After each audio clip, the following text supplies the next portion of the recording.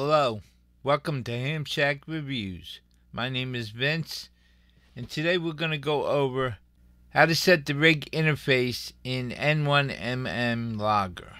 First thing you want to do is come up here to Configure, click on Ports, Modes, Control, WinKeyer, and that should open this. Here you're going to pick your COM port. Here's where you put in your radio model. Then you hit set. Now this window should open up.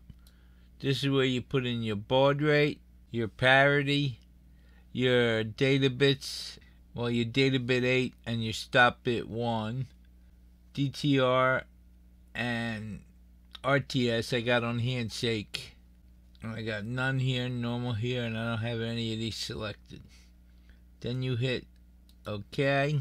Now I'm going to turn my radio up and when I change to 20 meters you'll hear the radio change. Now it says 20 meters and I'm at CW now watch in this area when I change modes. And now I'm back on upper sideband.